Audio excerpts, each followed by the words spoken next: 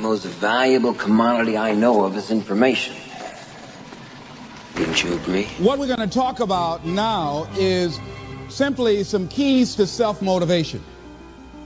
And all of us have motivation of some sort. I define motivation as the desire to achieve that which you believe to be worthwhile.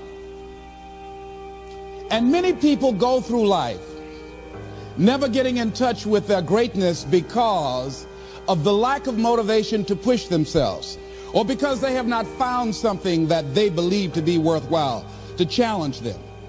I heard a poem once that said, um, many a flower has bloomed unceasingly and wasted sweetness upon the cold desert air.